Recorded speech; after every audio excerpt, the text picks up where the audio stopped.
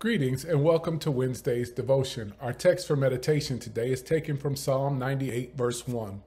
Oh, sing to the Lord a new song, for he has done marvelous things. His right hand and his holy arm have worked salvation for him. I wonder what song is in your heart today? What genre? Did you wake up singing the blues today? Did you wake up upbeat for whatever reason? But really, the real question is what is the focus of you singing today.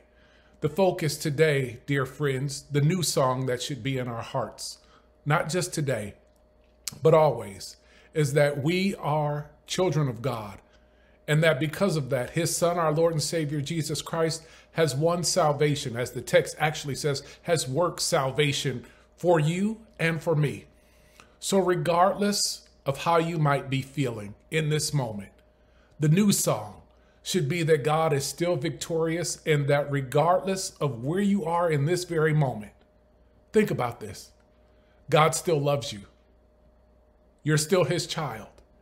And he, and he alone, should be the reason why you sing because he is on your side, not just today, but tomorrow and forever.